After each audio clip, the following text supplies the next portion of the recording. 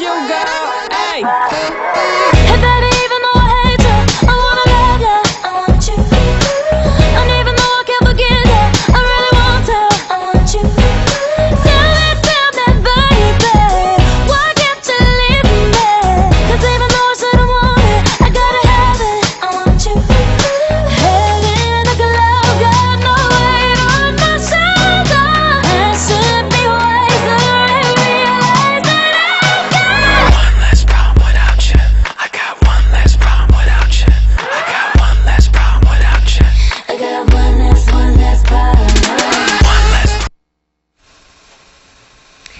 ¿Qué tal? Muy buenas tardes. Bienvenidos al programa Entre Mujeres. Estamos listas para comenzar un programa más y le doy la bienvenida a todos nuestros amigos que nos están viendo en esta tarde aquí en Tamazunchale, en sus barrios y colonias, como es en Chapulhuacanito y en Tamán, perdón.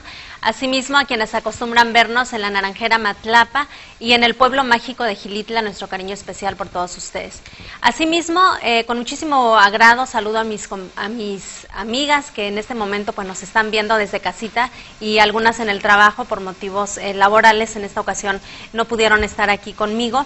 Y a quienes acostumbran eh, seguirnos por el Facebook, gracias por seguirnos en eh, Vigiano Tamasvisión y gracias por seguir las repeticiones que eh, Tamas Visión tiene para todos ustedes.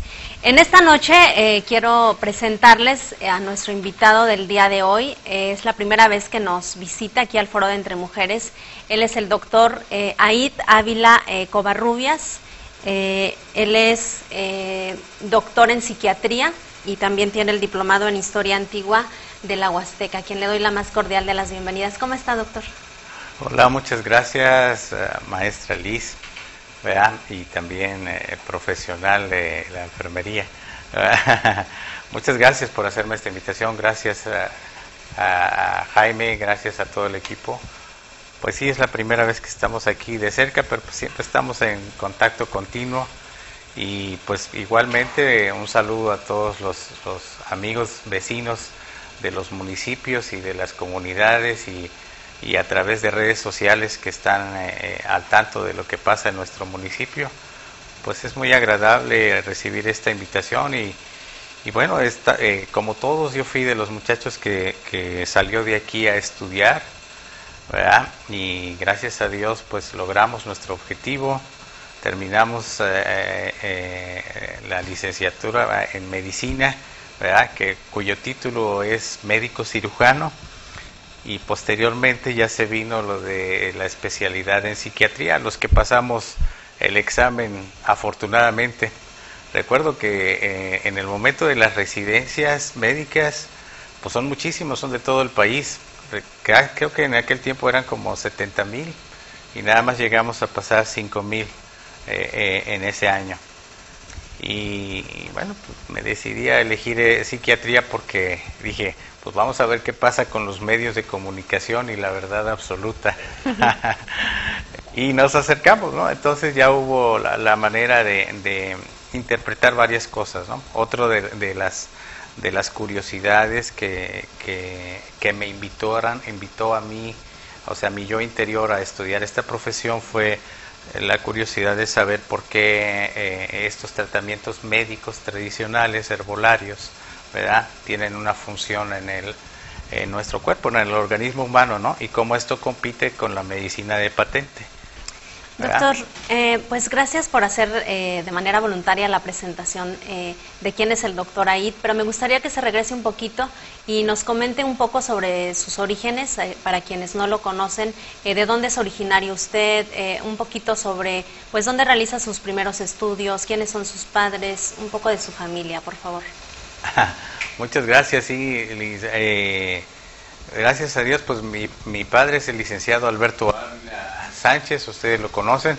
Él tiene tres, bueno, tres títulos, sí, porque se quedó, eh, eh, no, se quedó a medias en los dos, pero él es licenciado en Derecho, es, eh, estudió psicología y estudió filosofía también en la Universidad Nacional Autónoma de México. Él afortunadamente tuvo compañeros como de hecho ya comentamos anteriormente, era eh, eh, Jacobo Zabludowski, eh, fue compañero de Jacobo Zabludowski, fue compañero de Carlos Monsiváis, fue compañero de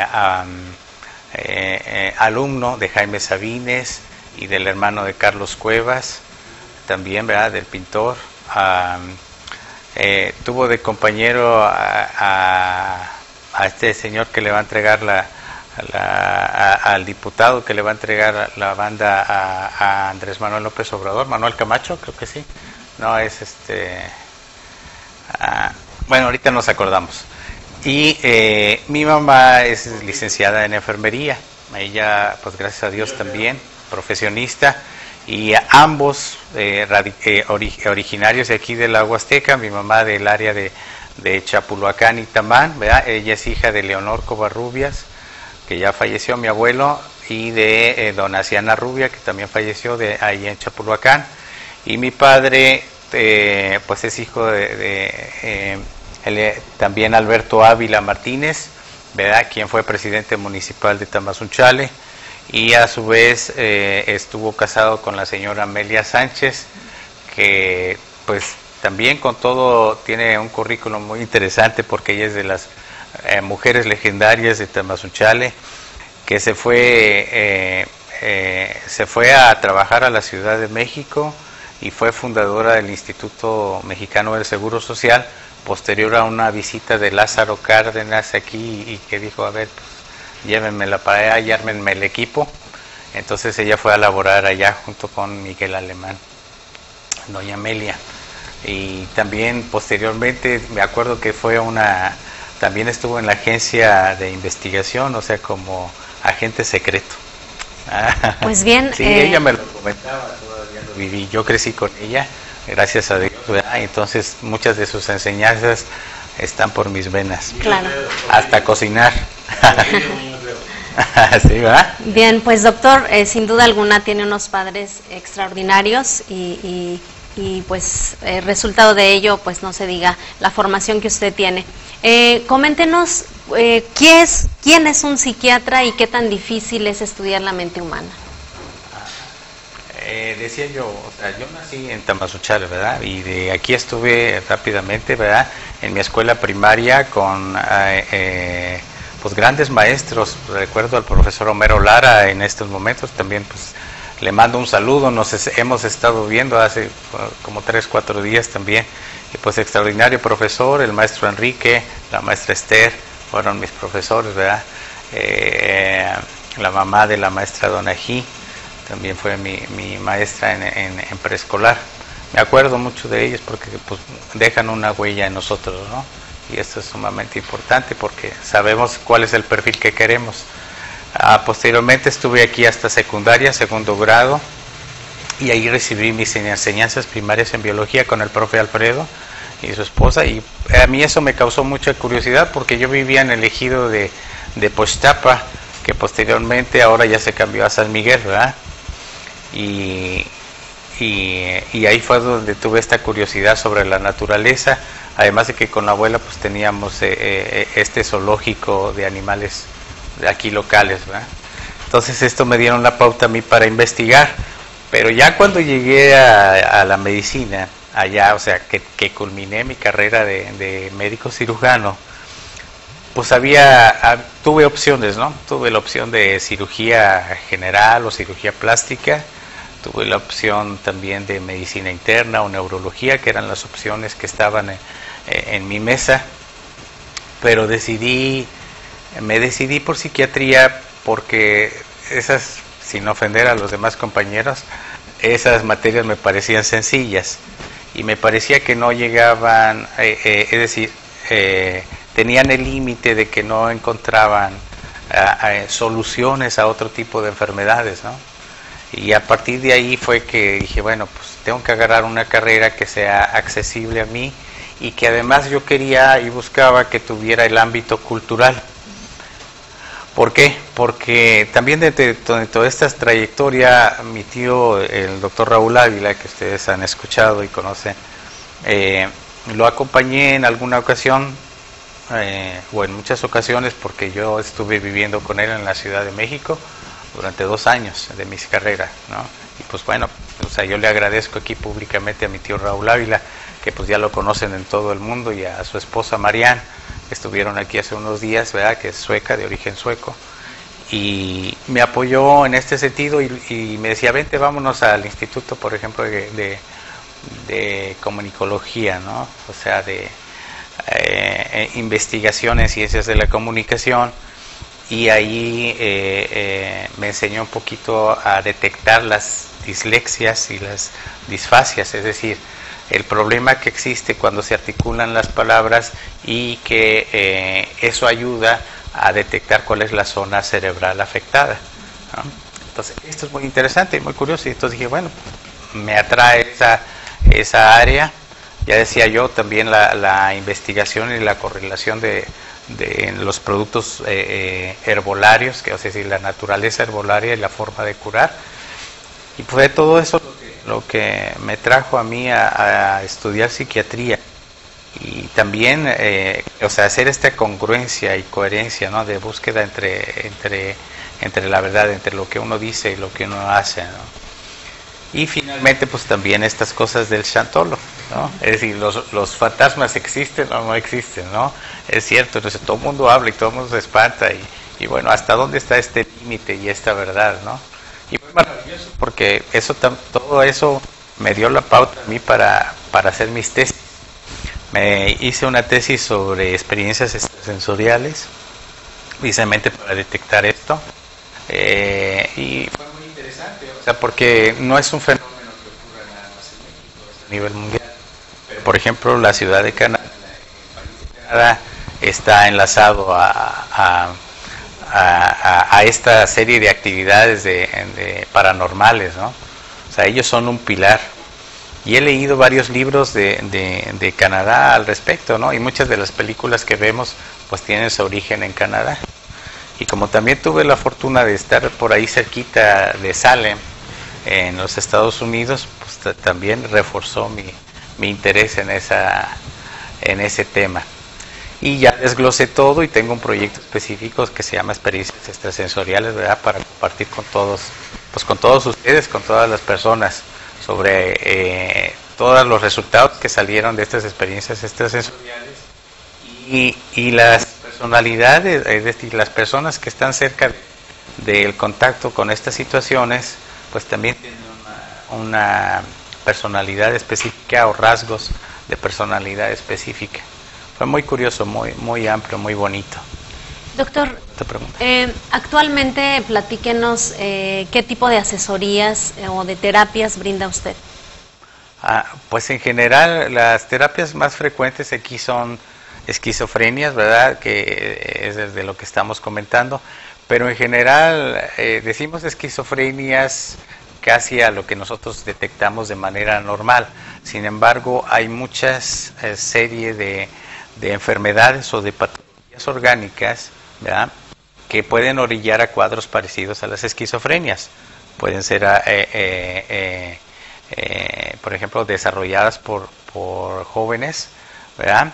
Pero también puede ser por, ocasionadas por drogas, pueden ser ocasionadas por demencias, puede ser ocasionadas por accidentes traumáticos cerebrales, ¿verdad? Que ocasionen cuadros parecidos a las esquizofrenias y, y esto es lo que eh, eh, muchas veces se confunde, ¿no? Y es primordial para su buen tratamiento saber definir lo que es una esquizofrenia de otra, ¿no? O, trastornos obsesivos o decimos conductas violentas. Y resulta que no, pues son, patologías que se van dando. Eh, me han llegado muchos casos curiosos de gente relativamente joven que se va a vivir fuera y, y regresa y esquizofrenizado. Resulta que entre problemas con la mujer, los amigos, los lugares donde vive, eh, de pronto eh, eh, tienen accidentes o desaparecen y luego reaparecen pero con trastornos. Entonces sospechamos que esto se trate de, de cuadros inducidos por drogas, probablemente también por eh, la delincuencia organizada, ¿no? O grupos de, de gente ahí que se ponen a hacer daño, ¿no? que, que van a algunas discotecas y esto.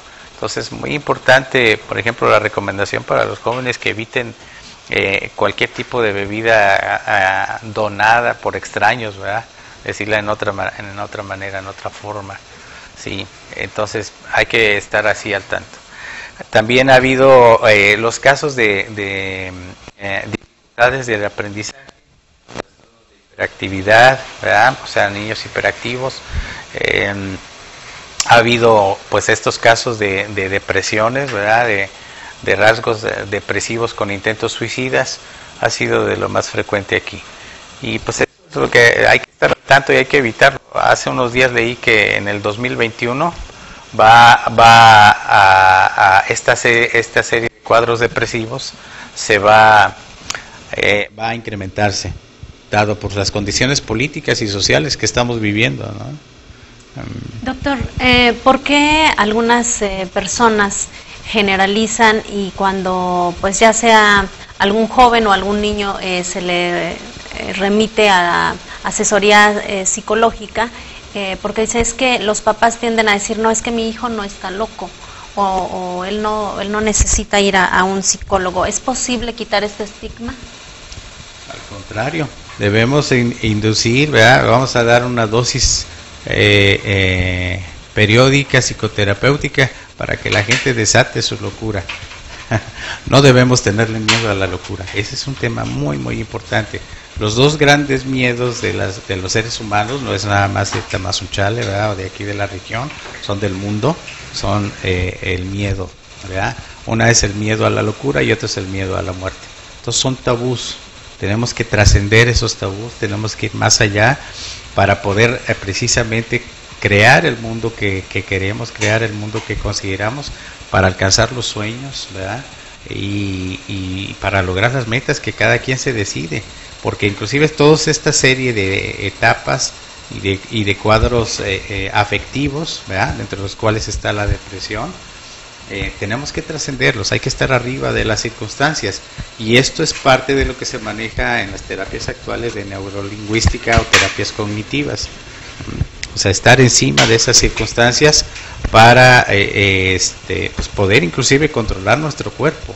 La mente es el regidor, eh, la mente y el cerebro son los regidores del cuerpo, de todas las funciones de nuestro cuerpo. Por eso se continúa la investigación y el conocimiento. Y, esto sí es posible si eliminamos esos tabús y esos misterios y estamos arriba de esas circunstancias. La locura no es de temer, la locura es para disfrutarse, para hacerse y para, y para lograr trascender esta parte biológica que nos limita. ¿verdad? Y no de, mucho menos debe ser criticable. Las conductas extrañas o raras deben ser entendidas y en su caso, cuando estas estén ya afectando a la persona, pues ya se le dará la atención. ¿no? Bien, eh, doctor, por otro lado, eh, pues mencionábamos hace rato eh, sobre pues la sociedad que estamos viviendo, los tiempos que, que estamos hoy en día eh, viviendo, en donde pues vemos en redes sociales eh, pues información eh, que alguna es falsa, no es confiable. Eh, también vemos eh, que pues salir a la calle ya no es lo mismo lo que nos tocó a nosotros vivir en nuestros años de niñez, que te podían mandar al, a traer algo a la tienda de la esquina y no pasaba nada, y hoy en día pues se ha creado pues hasta una psicosis, ¿verdad?, eh, de que los niños no salgan y, y- y cosas por el estilo. Entonces, en ese sentido, eh, usted como profesional eh, de, del- pues de la salud, de la mente humana, ¿qué recomienda para que eh, la gente mantenga una, una salud mental eh, óptima o positiva cuando está rodeada de muchísima información y de todo, de todo este tipo de problemas sociales? Eh, de hecho, la recomendación es particularmente, am, yo creo que la salud mental no se debe separar de la salud física. Les quiero recordar la definición de salud. La salud es el completo bienestar físico, mental y social y no solo la ausencia de enfermedad. ¿sí? Completo bienestar físico, mental y social y no solo la ausencia de enfermedad. Entonces no estamos sujetos a separar este, este, esta definición. Sin embargo, sí es necesario eh, eh, separarlo en el sentido técnico para entender que de pronto eh, nuestra forma de pensar es la que nos condiciona las conductas que hacemos o que tenemos, ¿verdad? y que muchas de esas conductas ya en cuestiones patológicas no son controladas por nosotros. ¿verdad? A partir de ahí nosotros debemos eh, eh, prevenir. Entonces, eh, es la cantidad de información y la velocidad con que, con que la recibimos. ¿no? Debemos estar al tanto de esto. Recordamos eh, eh, a nuestro amigo Eligio, ¿verdad? Nández Aguilar, que todavía es un gran chico, me, sigue enviando mensajes desde México preguntándome cómo va todo y, cómo está bien en, eh, en sus, en sus buenas etapas. Pero él lamentablemente, yo recuerdo porque estuve cerca de cuando él eh, eh, tuvo esta primera crisis, estuvo pegado casi 10 horas al internet, Y entonces estuvo una información y yo estaba con él, lo dejé de ver eh, eh, cuando él empezaba, estábamos juntos en un ciber y, eh, y regresé por la tarde y todavía estaba él ahí. Entonces por eso dije, bueno, pues el, el problema es- se centró en ese punto y, y ya no pude no pude hacer algo al respecto porque esta cantidad de información que él recibía era demasiado. Entonces yo me enteré tarde y ya no pude hacer algo para ayudarlo, pero supe que al día siguiente ya te- había tenido estos cuadros. Entonces es muy importante que toda a- a- eh, mantener una, una barrera, ¿verdad? de límite del contacto con los medios de comunicación, el telefonito, el chat, ¿verdad? la televisión misma, o sea, debemos tener eh, por lo menos un horario de menos de una hora y media o dos horas cuando mucho, estar en contacto con ella y dejarla, dejarla un rato y, pues de preferencia, si ya se puede todo el día, todo el día, pero si no, eh, eh, evitar lo mínimo, sobre todo al dormir. ¿Por qué? Porque en el momento de dormir estamos llevándonos la información que está ocurriendo en esos medios y en la televisión y entonces nos frena. ¿No? Es decir, nos está, nos está provocando ideas y trastornos y, y falta de reposo de nuestra mente, que es lo que orilla a, que exista esta disociación común en los esquizofrénicos. Es decir, es una, ah, la- los medios de comunicación en este sentido se convierten en esquizofrenizantes y hay que frenarlos, hay que saberlos frenar, hay que darle paz y serenidad a nuestro cerebro. Igual esto pasa a veces eh, eh, bajo estados de intoxicación, ¿no? Entonces, si hay mucha información, o, o, por ejemplo, los muchachos que van continuamente a las discos, ocurre lo mismo. O sea, canciones repetitivas, ¿verdad? Que ahorita también están usándose con malos mensajes, ¿verdad? Se están poniendo de moda y esas hay que evitarlas, ¿verdad? Porque son peligrosas eh, en ese sentido. O sea, se malentiende que lo que es una, una relación normal.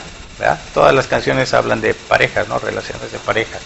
Entonces, eh, pero se entiende lo que es una realidad eh, confusa. Entonces, es importante mantenerse abierto siempre y estar en contacto con la realidad. No necesitan ir con el médico. Simple y sencillamente, por ejemplo, caminatas al aire libre, ¿verdad? Eh, o a lo mejor caminar por las calles, o en la naturaleza es lo que les va a dar a, a, ustedes la pauta para recuperar su salud. Y que hay que ir depurando la información. Inclusive yo estoy quiero comentar que eh, esto es esta situación debe ser una ley que se meta al Congreso de la Unión porque se tiene que detectar los momentos evolutivos de las personas. Y me estoy refiriendo a desde niños, o sea que eh, en qué etapa los niños eh, por ejemplo, son muy flexibles para recibir la información, pero también hay muchos adultos que tienen comportamientos infantiles. Esto ya es cuestión de, la, de psicoanálisis, ¿verdad? Por ejemplo, eh, los que son obsesivos, pues tienen una correlación con, con la fase oral de su desarrollo. Y esto es eh, parte de lo que condiciona que ellos, eh, esta gente esté más relacionada con los vicios o las adicciones. Y es lo que se tiene que evitar.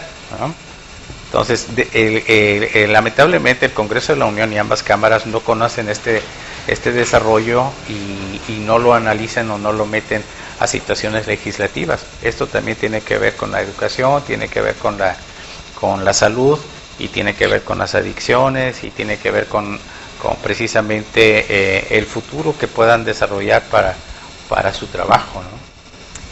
Pues bien, amigos de Entre Mujeres que nos están viendo, estamos platicando con el eh, doctor Aid Ávila eh, Covarrubias, él es eh, psicoterapeuta. Y queremos hacer una pequeña pausa comercial, pero regresamos con más información.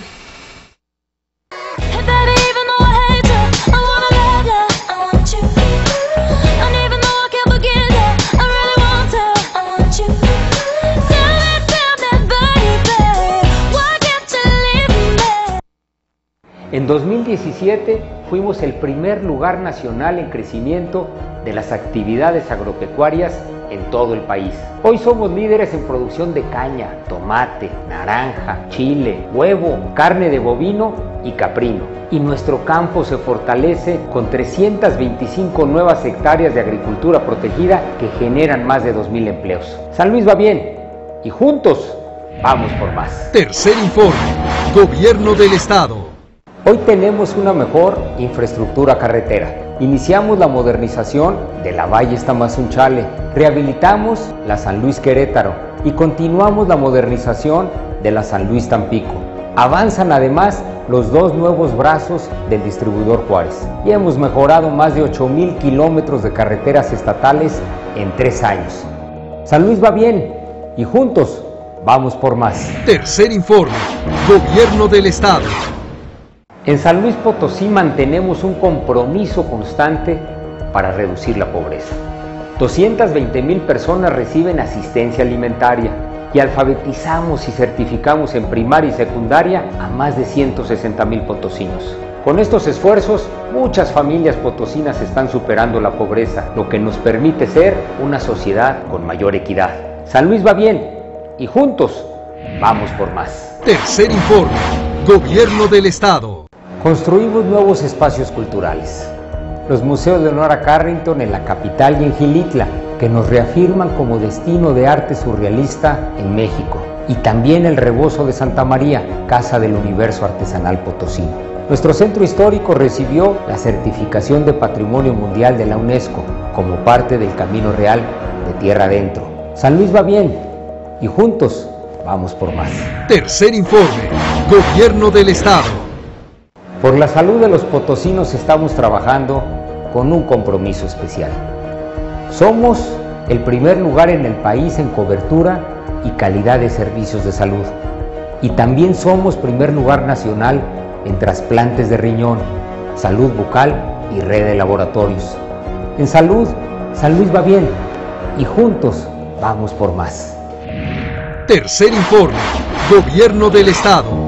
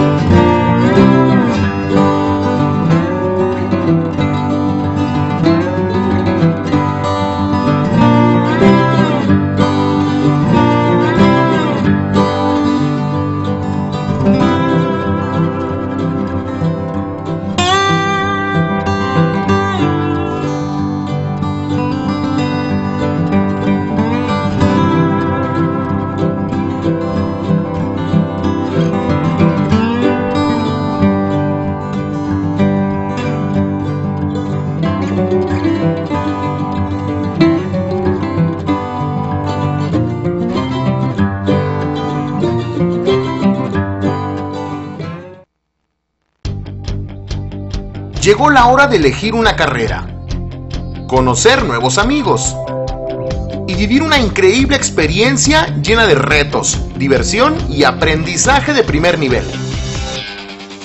En el Instituto Tecnológico Superior de Tamazunchale te ofrecemos cuatro ingenierías con excelente proyección para trabajar en México y en el extranjero. Ingeniería ambiental. Resuelve los problemas ambientales que enfrenta nuestro planeta. Ingeniería industrial.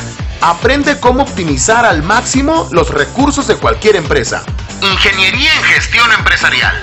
Diseñas las estrategias de las compañías del mañana. Ingeniería en sistemas computacionales. Desarrolla los sistemas que deslumbrarán al mundo. Construye tu futuro con la mejor oferta educativa de la región, integrando actividades deportivas y culturales. Además, vive la experiencia de representar al tecnológico viajando a otras partes del mundo. Tú tienes el poder de elegir cómo quieres transformar al mundo. Instituto Tecnológico Superior de Tamazunchale. Decide tú. Decide Tech.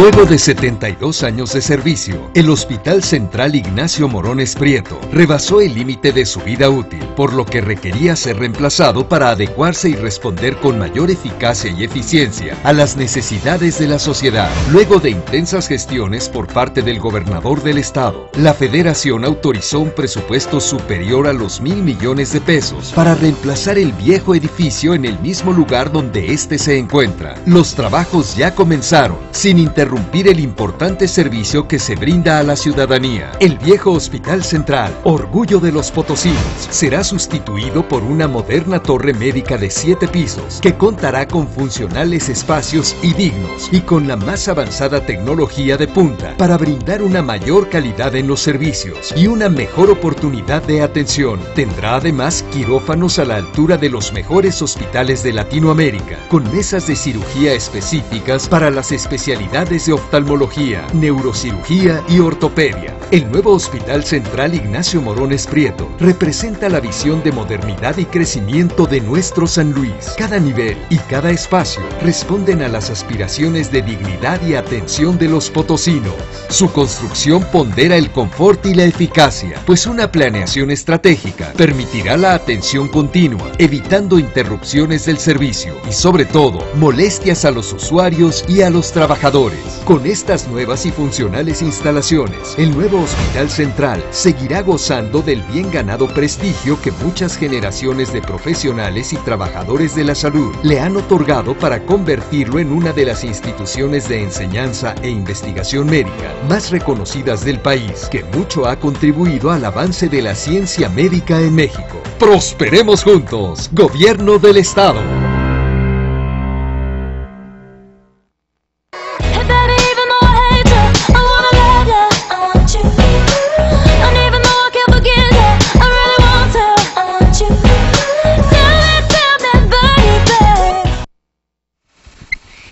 Gracias por continuar en Entre Mujeres. Estamos platicando con el doctor Aid Ávila eh, Covarrubias. Eh, él es eh, psiquiatra. Y, bien, eh, hablábamos en el corte, doctor, sobre pues las redes sociales, cómo han venido a, a- modificar los patrones conductuales de, pues de las personas que de alguna forma han, creado cierta adicción, ¿no? Por, ¿por qué no decirlo? A- a este tipo de, de medio de, de comunicación y coméntenos desde su punto de vista eh, cómo, cómo ha afectado esto en la sociedad actual. Pues eh, como en este sentido yo creo que las dos cosas. Hace un tiempo cuando nos enteramos de la existencia de, por ejemplo, de la telefonía celular, ah, no, pues dijimos qué padre y bueno, vienen los medios de comunicación, vamos a poder hablar, ahora ya no van a ser cartitas ni telégrafos el teléfono convencional, ¿no? Eh, me lo voy a poder llevar a mi casa y una serie de cosas. Pero pues ese es el lado bueno. Y después se viene este asunto de redes sociales, del internet, y pues dijimos lo mismo, ¿verdad? También creo que cuánto beneficio, la gente se va a volver más demócrata, va a haber mayor comunicación y mayor, mayor información. El caso es que también eh, tiene este lado oscuro de la moneda, que es esta provocación de síntomas de ansiedad y angustia es si no tengo comunicación, no me siento a gusto o nos volvemos más paranoicos porque tenemos que estar, eh, necesitamos el teléfono para saber qué está haciendo fulano, sultano, mengano, mi hijo, mi hermana, mi esposa, ¿verdad? Todo el mundo. Y ahí estamos. eh, entonces nos vamos a volver en cierto mundo paranoico. Yo he estado analizando particularmente qué pasa con los Estados Unidos, ¿no? El país de primer mundo y el, país de la de, que controla, ¿no? O sea, a, a todo el mundo, a todo el planeta, eh, lo que se dice. Y veo que precisamente ellos viven y dependen de la paranoia, ¿no? Todo mundo de repente les quiere hacer daño. Y, y estoy recordando esto por el asunto de las Torres Gemelas desde entonces. Y, y- y entonces ellos mismos nos están orillando a que si ese es, eh, por ejemplo, la meta para llegar a ser un país de primer mundo, pues entonces vamos a estar equivocados y nos vamos a matar unos a otros. Y lo dicen los mismos, los mismos analistas de los Estados Unidos. Vea, No nada más lo digo yo. Chomsky creo que se llama este señor también.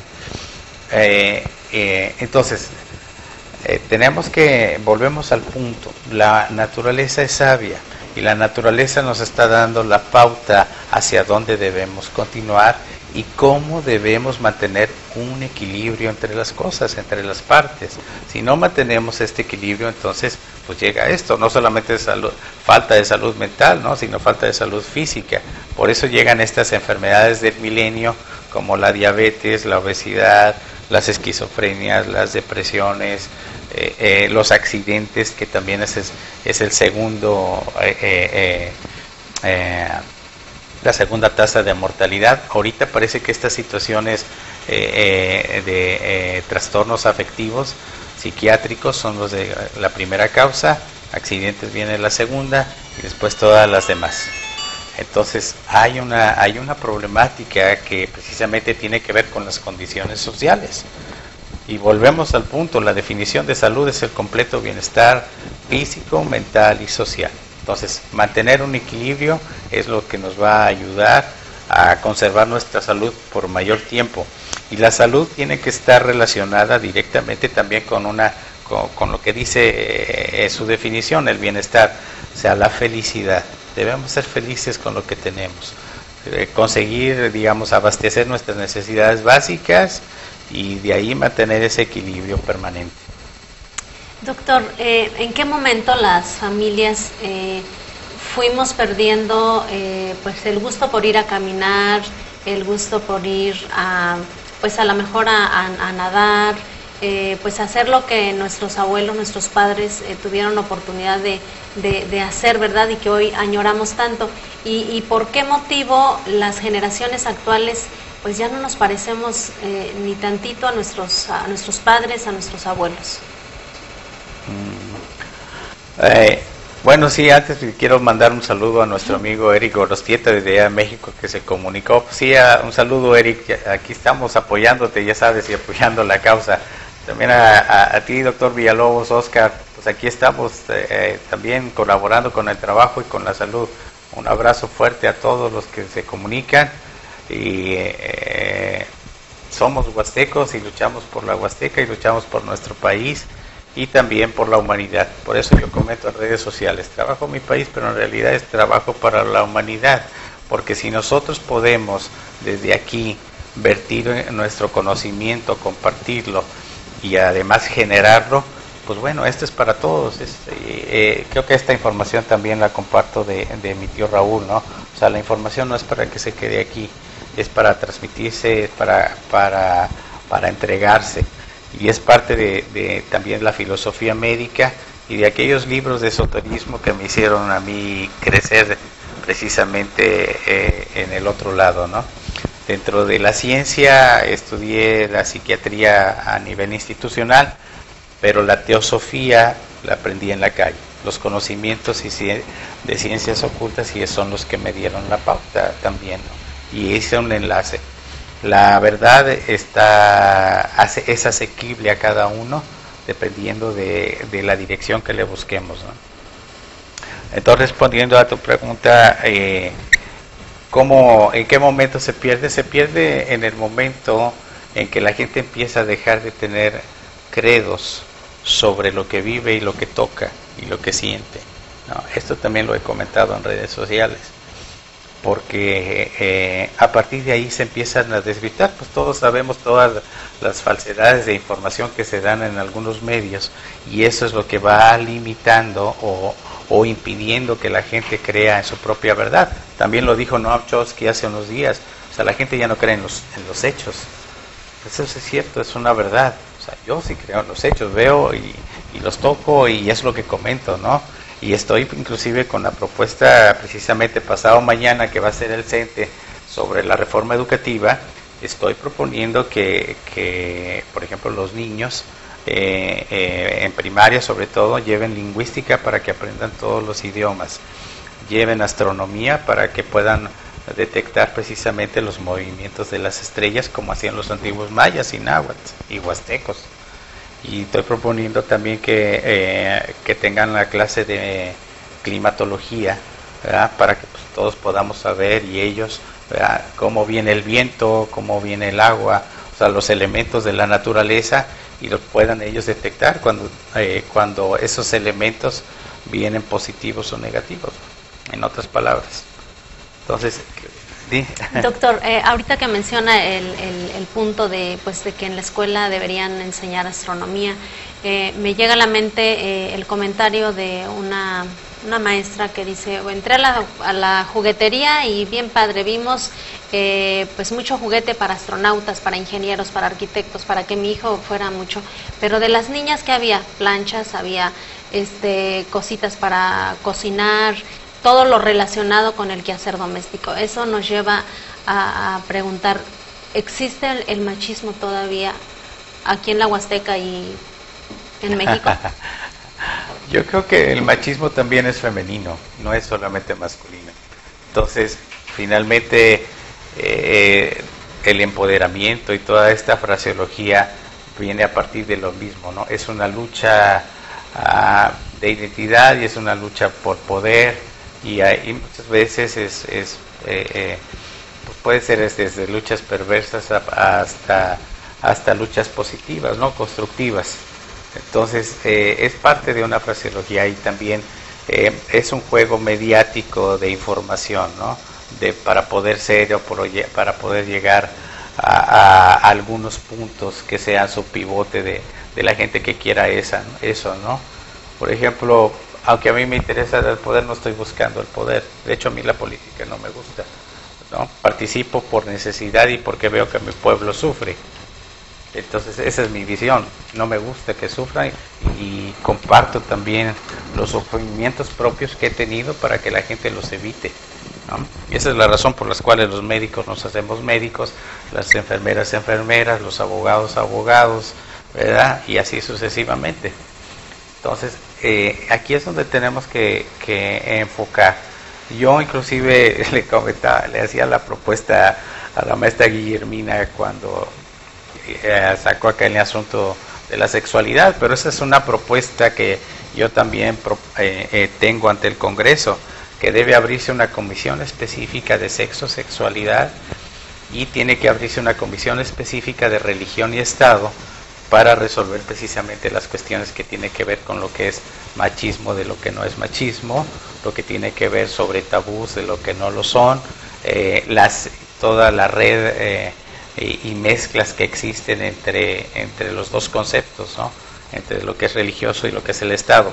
Yo creo que en México hay una falta de conocimiento de lo que es la religión y la religiosidad. Son dos cosas diferentes. Entonces aquí, aquí el punto es abrirse, abrirse al punto de, de conocimiento, ¿no? Factores comunes de todas las religiones, ¿verdad? Y los objetivos que se persiguen a través de la religiosidad. Si nosotros, por ejemplo, tuviéramos nada más una, una sola religión, entonces esto vendría a crear una dictadura religiosa, ¿verdad? Y probablemente de conductas de los seres humanos.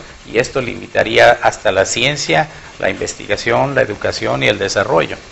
Entonces es importante que exista diversidad cultural y diversidad religiosa, porque finalmente eh, esto eh, ayudaría a que el espíritu pueda controlar su cuerpo y el espíritu pueda controlar la dimensión de, de las comunidades, ¿no? Doctor, eh, ¿cómo podemos hablar de identidad cultural cuando vivimos en un mundo, en un México que es un mundo tan diverso? Hijo, pusiste el punto sobre las islas. Pues vivimos en un Tamazunchale que no tiene una red de cultura, definitivamente, y todo el mundo hablamos y estamos cerca del, municipio que representa San Luis Potosí. Eso siempre lo he dicho, que es Gilita, y un saludo a mis amigos de, de Gilitla. Javier Pacheco ha hecho un buen trabajo este año, este periodo, y todos los demás yo creo que le, han echado ganas. Pero Jalita- eh, es representativo para nosotros eh, en la Huasteca, pero aquí también hay demasiadas cosas, ya hemos hablado, ¿no? O sea, los, hay los sitios arqueológicos que no han querido rescatarse, existe toda esta serie de médicos tradicionales, compañeros y amigos que son- han sido muy buenos y en los cuales yo también crecí, uno que vivía ahí en Pochapa que se llamaba Apolonio, y este me hacía las barridas así y al otro día yo me sentía súper bien, ¿no? excelente don Apolonio. Entonces hay eh, eh, esto, o sea, ¿qué, ¿qué trabajo hay? ¿Qué forma hay? De aquí, este, tengo el conocimiento que se estuvieron quejando directamente conmigo el director de la biblioteca, el director de turismo, el director de cultura, eh, eh, que no había recursos, el director de deporte, que no había recursos. Bueno, pues, quieren- siguieron votando por los mismos y ahí están los errores. Hay, aquí hay materia para hacer mucho y estamos echándole todas las ganas con, con eh, gracias con ustedes que están aquí en este medio de comunicación y que precisamente Tamasvisión abre las puertas para hacer esta cultura, igual que los otros medios, ¿no? Tamaja Cable, eh, Su Noticia, el Sur, creo que todos hace- hacen un buen trabajo, ¿verdad? Así como pues, eh, la Huasteca, el periódico Huasteca lo hizo en su tiempo. Entonces, es, si no existieran los medios de comunicación así eh, y la prensa, eh, no existiría la cultura, la dimensión cultural que hoy tenemos. Pero sabemos nosotros de los medios que esto pudiera ser todavía mayor. Esta, esta creatividad cultural tiene que impulsarse desde un pivote. Eh, haciendo las obras pertinentes y correctas, porque la cultura, además de ser un, un medio de eh, empleo, es un medio de, de desarrollo, de información y de salud. La cultura trae salud porque entonces la gente deja de tener conflictos. Y esa fue la razón, también una de las razones por las cuales yo decidí venirme a Tamazunchale. No les, les soy honesto, sí tuve oportunidades en otros hospitales hasta fuera del país de trabajar en hospital, pero yo no quise ser el médico psiquiatra de hospital. Yo supe y sabía con estas intenciones y esta información que yo tenía de, de los médicos tradicionales, de que había otra cultura y otra forma de hacerse la, la psiquiatría, ¿no? Entonces, ustedes recuerdan, en algún tiempo le puse a mis tarjetas psiquiatría teosófica. ¿Por qué? Porque la gente se viene aquí, te- te- precisamente estaba enlazada en esto de, de- de la religiosidad, ¿no? Y dije, pues no, no va por ahí, o sea, la religión es otra cosa, Y me dio la pauta a mí de conocer eh, eh, esta diversidad de todas las religiones y hay conceptos comunes, ¿no? Como por ejemplo el diluvio, eh, por ejemplo la creación de, de- de, civilizaciones antiguas o anteriores, ¿verdad? La, lucha por la búsqueda de un ser superior que se convierte en todas las religiones como una meta. Cosas así. ¿Verdad? Ya platicaremos de eso en otra ocasión. Bien amigos, eh, los invito a hacer la última pausa comercial y regresamos eh, con más información.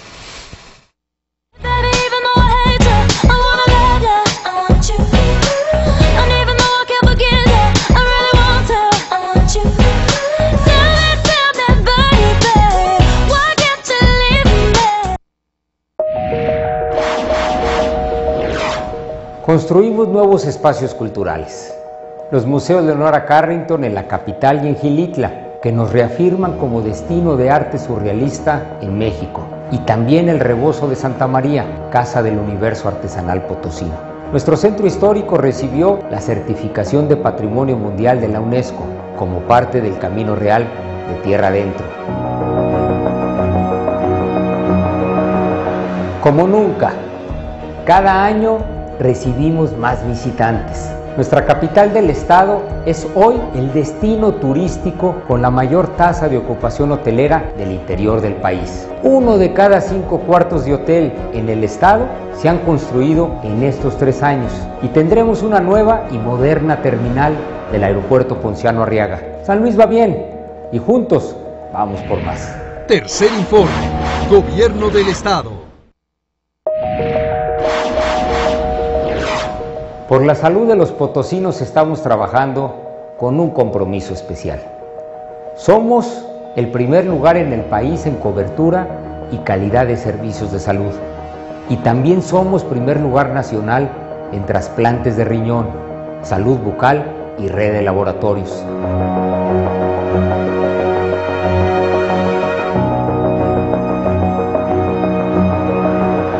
Construimos el nuevo Hospital Central con una inversión cercana a 1.200 millones de pesos. Con ello, fortalecemos la atención con servicios dignos para más de 550 mil pacientes cada año. Con pasión y corazón, el Hospital Central seguirá siendo una herencia de bienestar para las y los potosinos. San Luis va bien y juntos vamos por más. Tercer informe. Gobierno del Estado.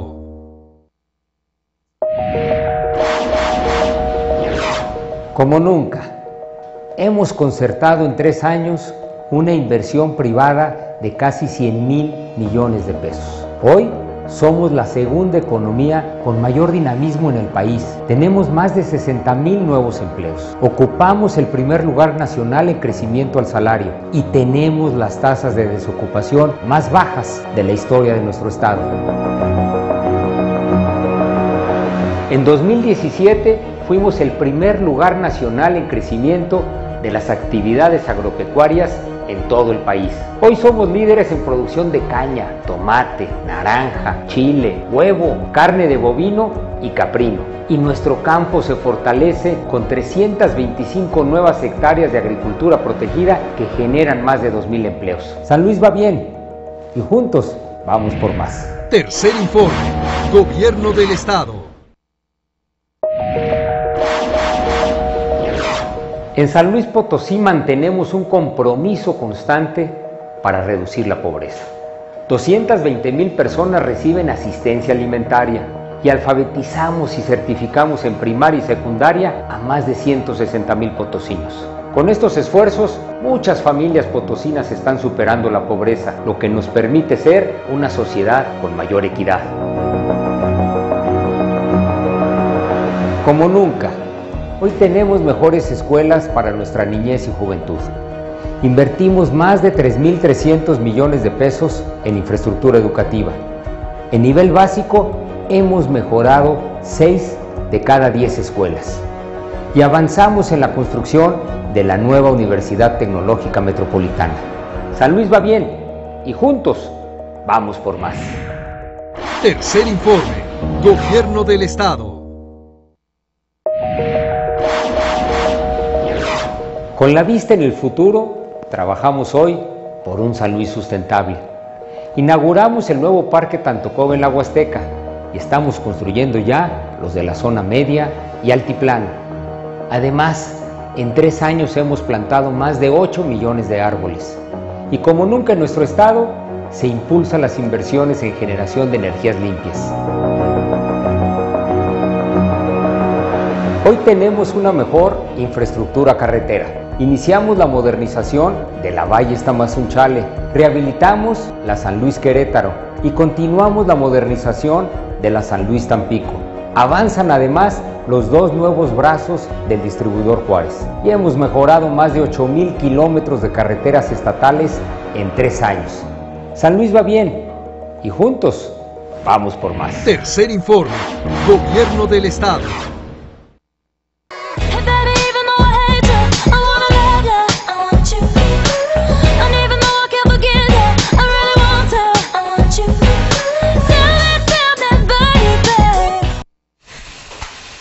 Gracias por continuar con nosotras en Entre Mujeres.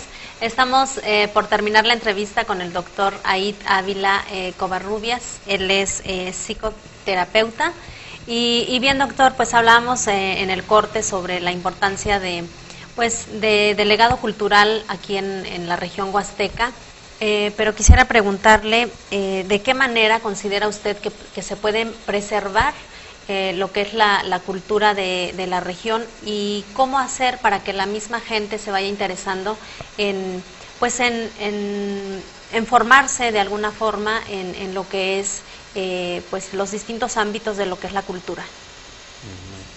Sí, eh, pues porque todos los hemos vivido y yo también ¿verdad? he tenido la experiencia con mis hijos. eh, finalmente la educación es un pilar, pero la educación va simultáneamente de la salud y, la salud debe tener una dirección.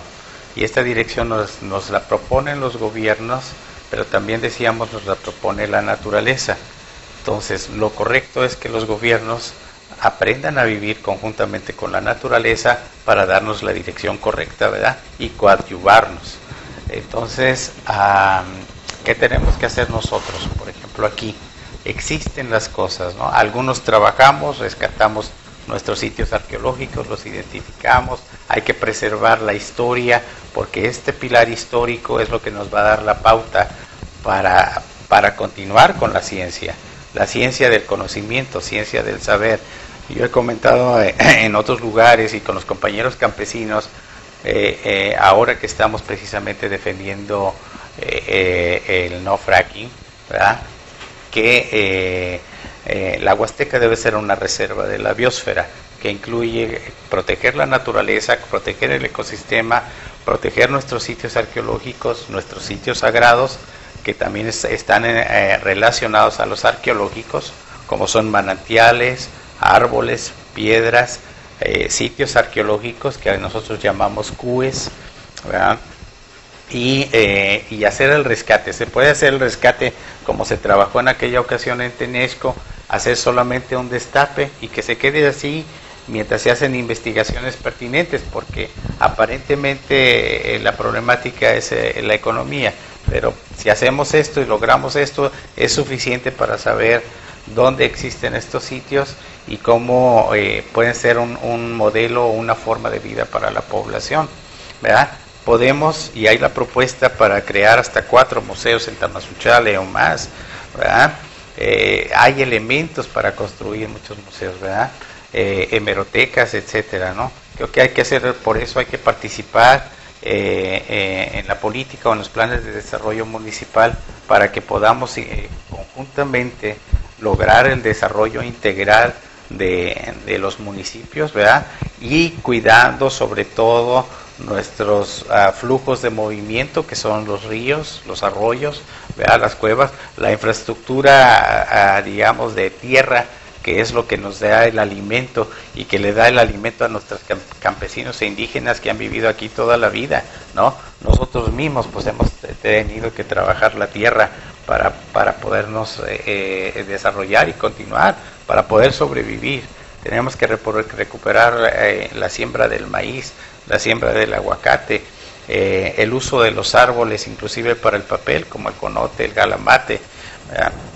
Entonces hay muchas cosas que rescatar de, de la información, inclusive de los antiguos huastecos, porque además la Huasteca ha sido poco explorada en cuestiones arqueológicas y, y aquí eh, eh, lo que logramos proteger en aquel entonces de la termo, que son 25 hectáreas de la zona del clérigo, pues no ha sido explotada tampoco turísticamente y se supone que allí existe y pertenece al municipio.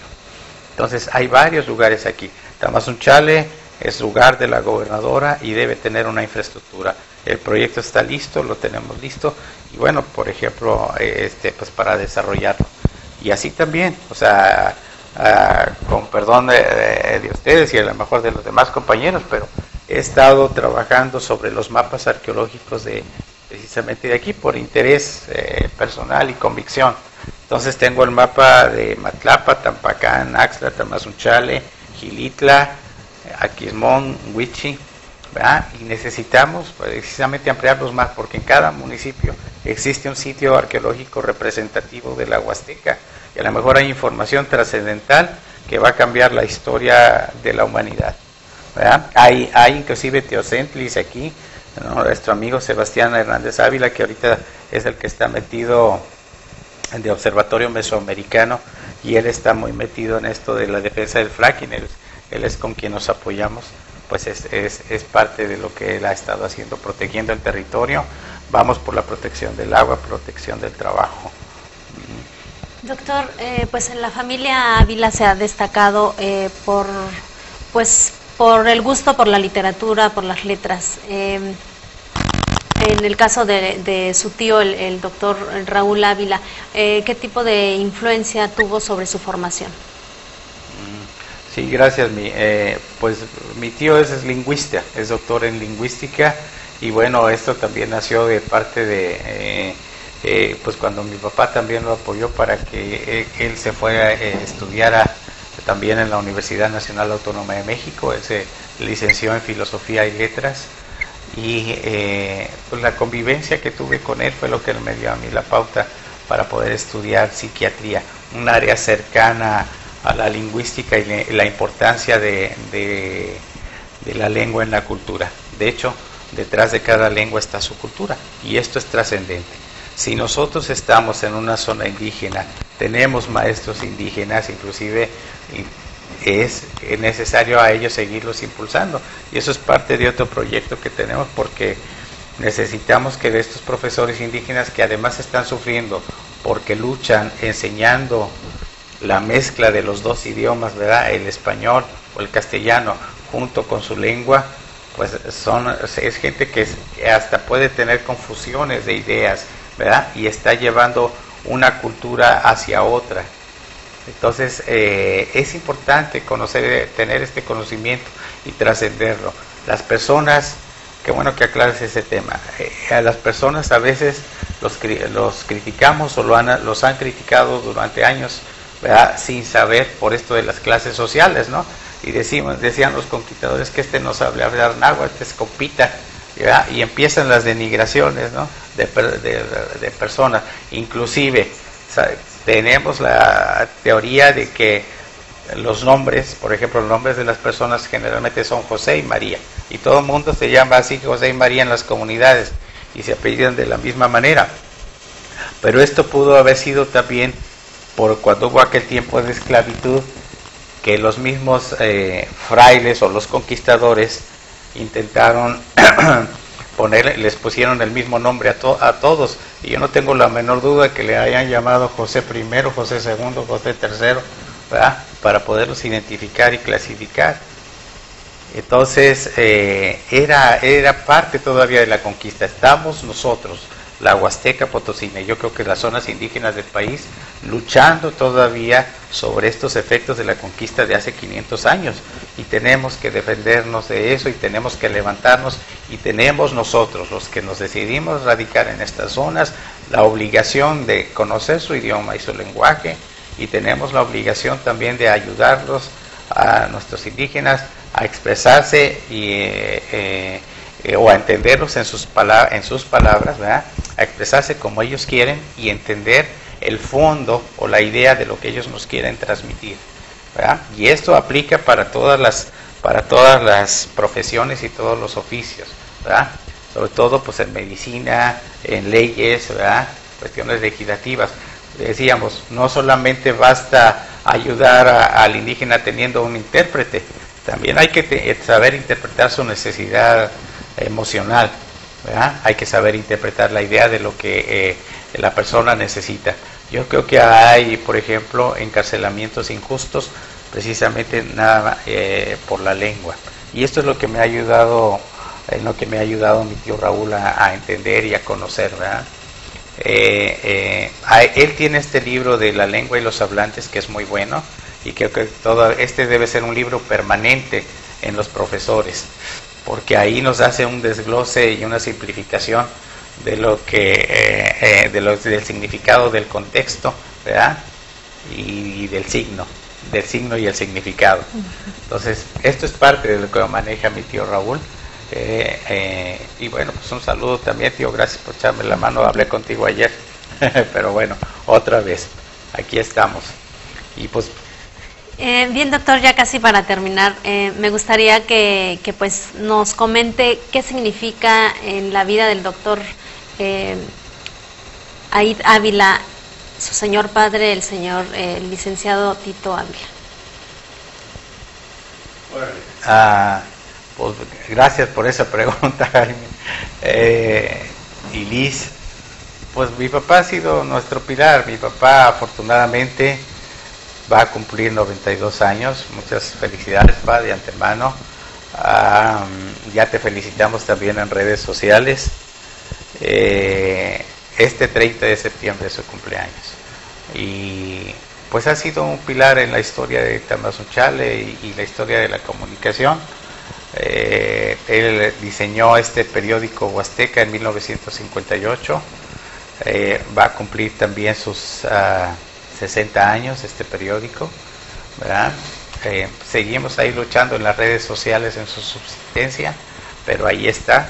Eh, y eh, pues él en, todos los sentidos ha tenido también la fortaleza de, mi madre, ¿verdad? la señora Carlota Covarrubias, enfermera, que ha estado con él en la lucha, sobre todo de, pues ya saben, de lo que hace una familia, ¿no?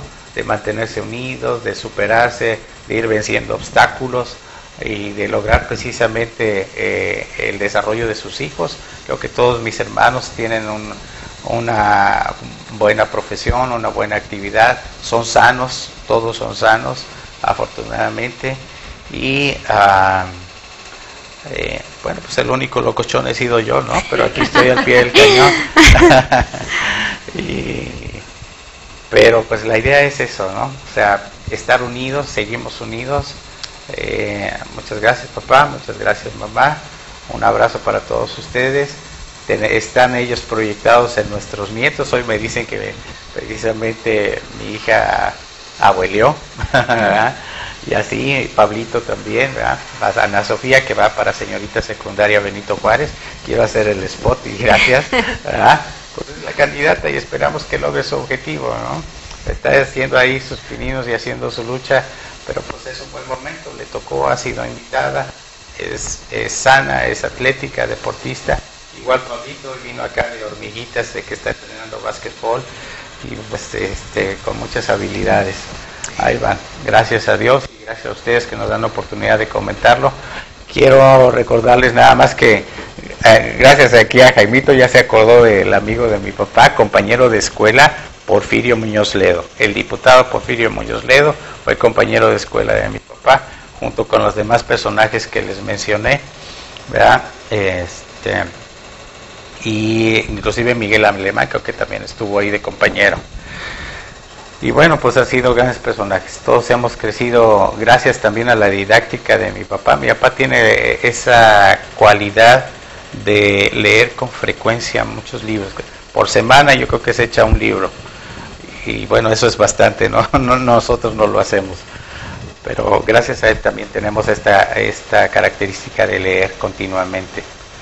Y eh, pues eso, nada más para, para concluir, ahí estamos para servirles, que podamos ayudar, eh, eh, estamos ahí al tanto.